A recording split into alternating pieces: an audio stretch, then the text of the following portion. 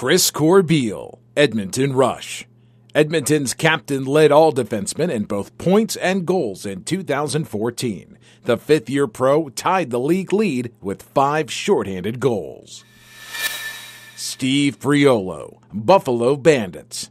Priolo ranked second among all NLL defensemen with 26 points, tied for first with 18 assists. Priolo tied for third in the NLL in both forced turnovers and shorthanded goals. Kyle Rubisch, Edmonton Rush.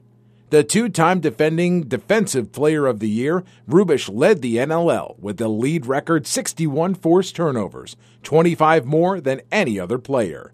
The shutdown defender helped the Rush limit opposing teams to a league low 157 goals in 2014.